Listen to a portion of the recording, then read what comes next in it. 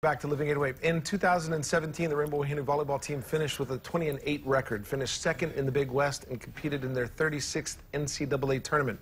Hawaii returns 11 letter winners, including four starters from this uh, for this upcoming season, including all Big West first team players McKenna Granato and Norene Iosia. And the 2018 Rainbow Wahine volleyball schedule was recently released, and no better person to talk about it than head coach Robin Amo Santos. She's joined by former player and director of operations Evan Lee. Thank you guys for being here. Appreciate it. Thank you for having us. Okay, glad something you're glad that went away. A fashion trend. For me, it's acid, acid wash jeans. Uh, with the high belt, with the double, the kind. Jelly shoes. oh. Tipped hair. Ooh. You know? Uh, okay. All right. All right. Okay. So uh, let's get to business. Uh, the, the the season, um, the 2018 season schedule was released, and you guys open up with a couple of big ones, including UCLA. But you start off with uh, with Gonzaga, also in the Rainbow Wahine Classic, the Hawaiian Airlines Rainbow Wahine Classic, Kansas State. Yeah. Um, tell me about the, what you think about the schedule.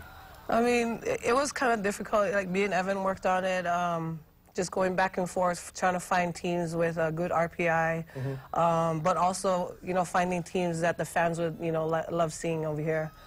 Um, like you said, there's UCLA, Gonzaga. Gonzaga has a local kid um, coming back as mm -hmm. well, and K-State as well. K-State, K-State has another um, uh, Riley, I think. Yeah. yeah. another local kid. So there's a lot of local kids coming back um, to the states and yeah. to Hawaii and that's what we try to do, is try to hit up teams with, you know, higher RPIs, teams that uh, the fans love to see, and also trying to bring some of our local girls back. And this full schedule is going to be available on our website. You can check it out, see what games you got to go to, but you can also buy tickets because they're available right now. Season tickets, yes? Season tickets are available. Uh, come join the fun, family affair.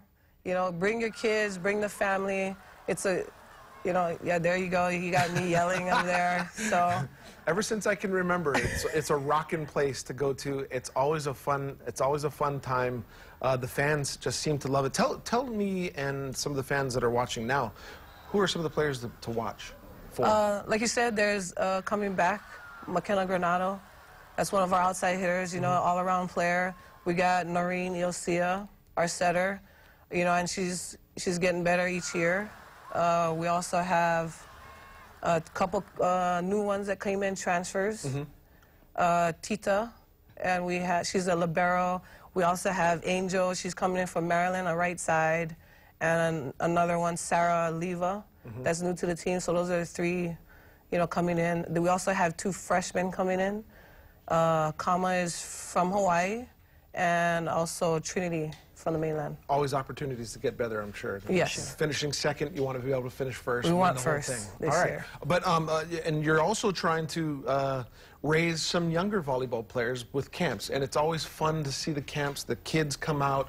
Um, you're doing camps. There's four sessions this summer. Tell me about the camps. So camps are in the afternoon. All skills camps. Mm -hmm um, starting in June, and then uh, July has the rest of them. We also have skill-specific camps. Yeah, like liberos. Yeah, liberos. So if you want to fine-tune certain parts of your game, you're going to come to that one. But, I mean, we've got ages uh, from grades 4 to 12 mm -hmm. available for all campers, so we want them to come out. We want the game to grow in Hawaii, for sure. All skill levels. How do you, how do you separate those that have different skills?